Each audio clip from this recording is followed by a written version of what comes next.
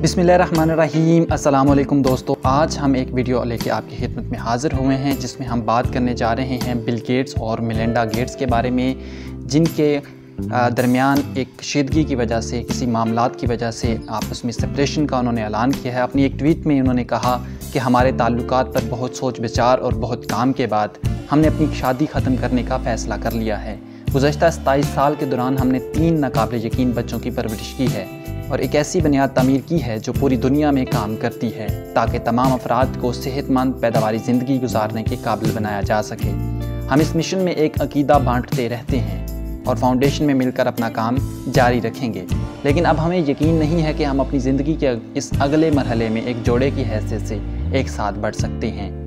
हम अपने ख़ानदान के लिए जगह और राजदारी का मतालबा करते हैं, क्योंकि हम इस नई ज़िंदगी का, को नेविगेशन करना शुरू करते हैं।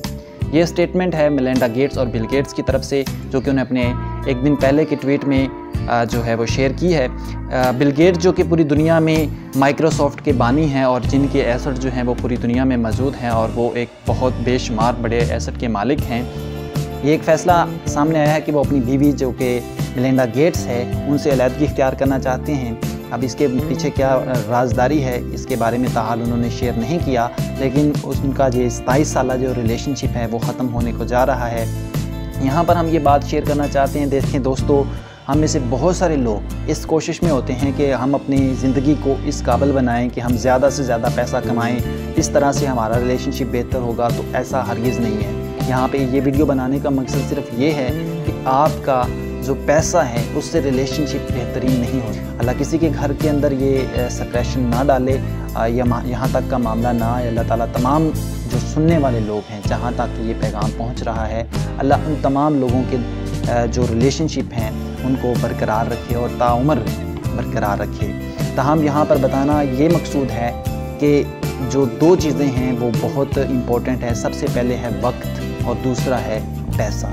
अगर आप अपने ख़ानदान के दरमियान बेहतरीन ताल्लुक़ बनाना चाहते हैं तो इन दोनों में तोज़ुन बरकरार रखें। वक़्त भी दें और साथ में पैसा भी। क्योंकि एक वक़्त देने से आप की अहमियत नहीं बढ़ेगी, क्योंकि ताल्लुक को बेहतर बनाने के लिए, ज़िंदगी को गुजारने के लिए हमें पैसे की ज़रूरत होती है। बेसिक नीड को पूरा करने के लिए हमें पैसे की ज़रूरत होती है।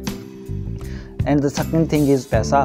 तो पैसा अगर आप ज़्यादा देते हैं, वक्त नहीं दे पाते तो इस तरह से भी ताल्लुक जो हैं, वो अलहदा हो सकते हैं, ख़त्म हो सकते हैं। तो ये एक वजूहत भी हो सकती है, लेकिन इसके बारे में हाथ में कुछ भी नहीं कहा जा सकता कि उनकी अलहदगी की वजह क्या हो सकती है। लेकिन एक इंसानी ख्वाहिश जो है वो यही होती है कि इंसान हमेशा से जो है वो अपने आप को अट्रैक्शन गेन करने का मंबा साबित हुआ है कि वो प्यार और मोहब्बत का ज़्यादा जो तरफदार होता है। देखिए, हम पैसे से क्या हासिल करना चाहते हैं? एक सेटिस्फाइड लाइफ जिसमें हम जो है वो अपने जो लाइफ पार्टनर है, उसके साथ कुछ टाइम स्पेंड करना चाहते हैं, अपना उनके साथ अच्छा वक्त गुजारना चाहते हैं, किसी हेल्पफुल हेल्थ फुल एक्टिविटी के अंदर जाना चाहते हैं, किसी जगह पे वो विज़िट करना चाहते हैं, वो तमाम काम जो है वो करना चाहते हैं। सो अगर आप ये काम नहीं कर पाते तो इस तरह से फिर एक कशीदगी पैदा होती है दिमाग में, और फिर इंसान जो है वो या तो चीटिंग करता है, या दूसरों के साथ ताल्लुक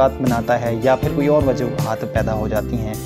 सो आप लोगों से इस वीडियो का मकसद आप लोगों को तक ये पैगाम पहुंचाना है कि आप अपने ख़ानदान को ज़्यादा से ज़्यादा वक्त और जितना मुमकिन हो सके वक्त भी दें और साथ में जितना पैसा हो सके आप कमा सकते हैं। ज़रूरी नहीं है कि बहुत सारा पैसा हो, जितना भी आप कमा सकते हैं। ऐसे आपको बेशुमार घर मिलेंगे जो, जहाँ पर बहुत कम भी कमाया जाता है, लेकिन वो वक़्त देते हैं, वो कदर करते हैं, वो रिस्पेक्ट करते हैं और आज भी उनके घर जो है वो बेहतरीन चल रहे हैं और बुढ़ापे की उम्र तक जो है वो बेहतरीन चलते रहते हैं। यहाँ तक कि वो बीवी जो है वो दुनिया से रुखसत हो जाती है, लेकिन वो आखिरी वक्त तक जो है वो वफादारी निभाती रहती है और उनके ताल्लुक बेहतरीन रहते हैं। तो अल्लाह से दुआ हूँ अल्लाह तमाम लोगों के जो घर हैं उनको महफूज रखे और अलहदगी की नौबत ना आए।